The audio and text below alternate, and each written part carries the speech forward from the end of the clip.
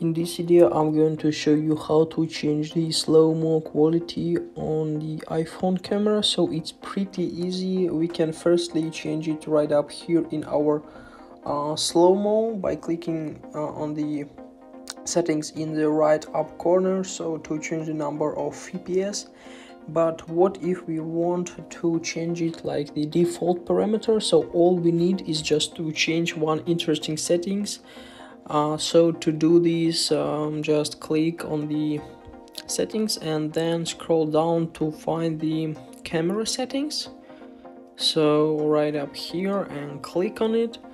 And here we can see the third line to record the slow-mo and here we can see the parameters so to change them all we need is just to click and uh, choose the necessary one. There are two options.